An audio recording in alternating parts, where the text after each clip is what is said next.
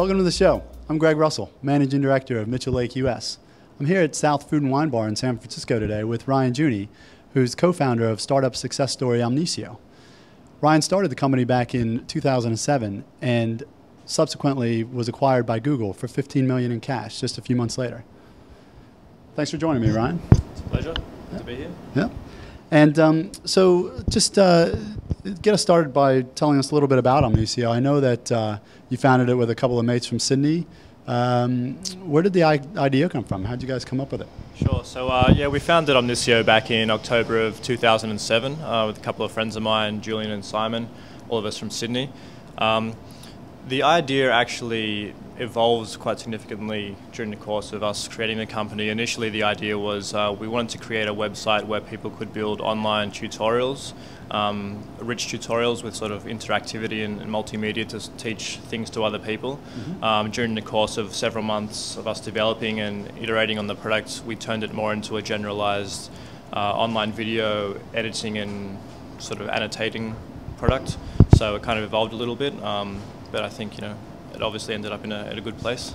Omnisio was a Y Combinator company. Mm-hmm. Um, tell us a little bit about that experience. What, um, what, what did YC provide for you guys, and, and do you think that gave you a leg up to be you know acquired so quickly? Sure. So Y Combinator is uh, it's a seed stage investment company here in Silicon Valley. Uh, they're based in Boston and in, in Mountain View.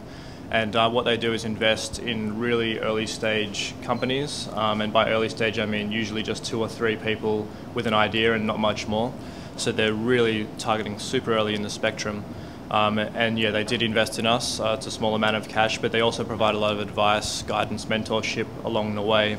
And so that definitely did help us um, both in sort of evolving our product idea, as I just described, um, getting us in front of investors to sort of pitch the idea, and ultimately getting us introduced to, to Google. So um, definitely they, they helped quite a lot. I read uh, on your blog recently actually that um, you know you were talking about YouTube Real Time, uh, a product that you've worked on, and, and you've also been talking about the real timeification of the web. Um, tell us why that's so exciting to you. Um, yeah, I think it's just an exciting trend that we're seeing, especially with companies uh, like FriendFeed and, and Twitter and Facebook moving uh, very much towards instant sort of gratification as things happen. You see them immediately. Um, it's it's kind of for me the same as when I first started using IM instant messaging, probably more than 10 years ago now. Um, a company by the name of ICQ or Mirabilis made a product called ICQ, and just when I started using that and thought, wow, I can see which of my friends are on the internet right now, and I can talk to them right now, as opposed to email where you just you had sort of this delay. That kind of shift made a huge difference. And now that we're seeing that for everything on the web, you know, I can see what my friends are doing on Facebook right now or what they're twittering right now.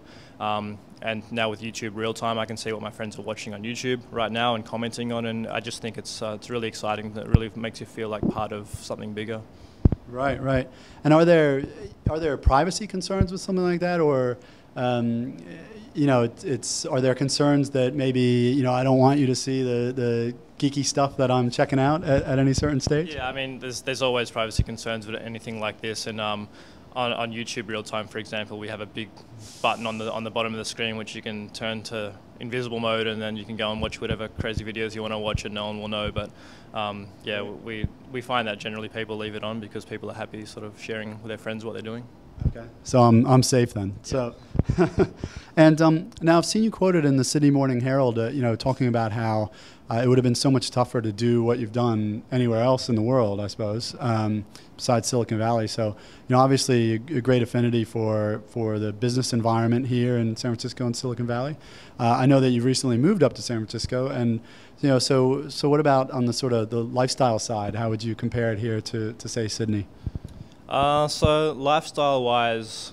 Sydney probably still does have the edge. I mean, San Francisco is a, a really fun city, um, but I guess just the laid back nature that that sort of you, you, find when you go down to Sydney, everyone's just really relaxed and friendly. The great beaches, you know, can't compare to anything, uh, at least here in Northern California.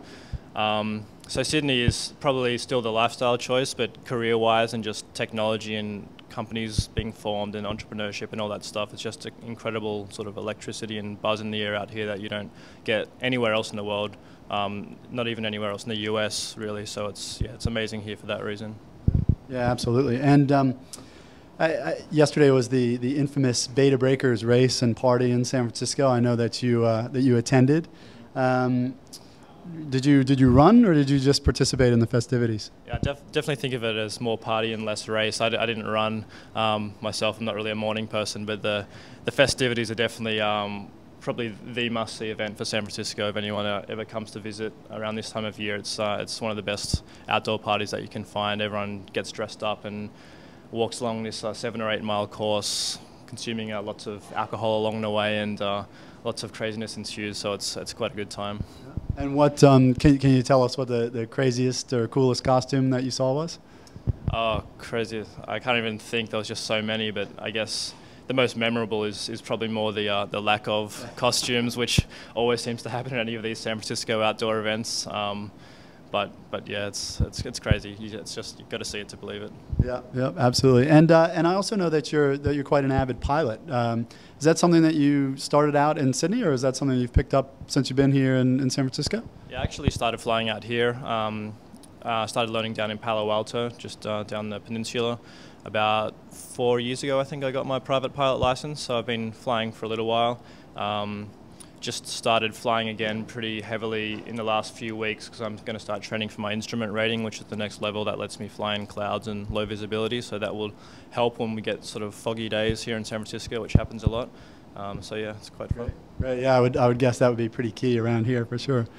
And um, and finally, uh, you know, if you were to uh, distill all the wisdom that you've that you've gained uh, through this experience over the last couple of years, and, and sort of you know, give um, give something to, to, to all the entrepreneurs or startups that are watching this to take away. What uh, what, what what advice would you uh, would you give those guys? Um, I think the best thing that you can do is, is just to get started. Like just do it is, is what I would say. If you've got an idea that you're kicking around and you're thinking about maybe I should do this, um, just do it. Just go and start building something. Start talking to people, getting feedback. Don't just sit there and work on sort of a business plan in, by yourself. You really need to get get out there, get ideally get a product in front of real customers, but if, if nothing else, get your idea vetted by as many people as you can. Don't keep it to yourself. Just go and start building something, um, launch and iterate because you'll learn so much more by actually doing it than you will by, you know, pondering about the market and the potential. You'll, you'll just learn unbelievably more by just actually building something and actually seeing real usage of it. So just, just get out there and do it. Great, great. Well, thanks, uh, thanks so much for your time today, Ryan. Um, cheers. Yeah.